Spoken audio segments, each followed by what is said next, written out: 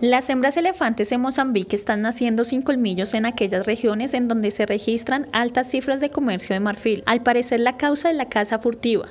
Un reciente estudio publicado en Science apunta que se debe a una respuesta evolutiva a la brutal matanza a la que estos animales fueron sometidos por su marfil durante 15 años de guerra civil. Antes de la guerra, alrededor de un 18,5% de elefantes hembra nacían sin colmillos y desde que terminó ese porcentaje aumentó hasta un 33%.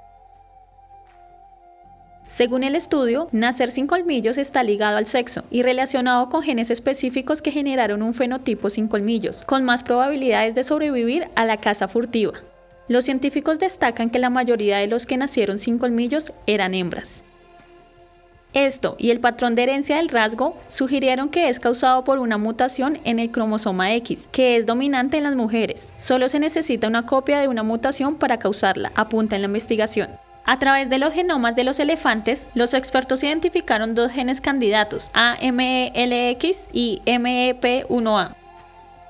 En las personas se sabe que estos genes están relacionados con el crecimiento de los dientes incisivos, el equivalente humano de los colmillos, aclaran. En cuanto al análisis del ADN en las heces de los elefantes, los animales con y sin colmillos comen diferentes especies de plantas. Debido a que los elefantes son especies clave, los cambios en su dieta pueden cambiar todo el paisaje, señala el coautor del estudio. Los investigadores aseguran que puede ser reversible a medida que las poblaciones se recuperen y dejen de estar al borde de la extinción. ¿Qué opina este rasgo evolutivo?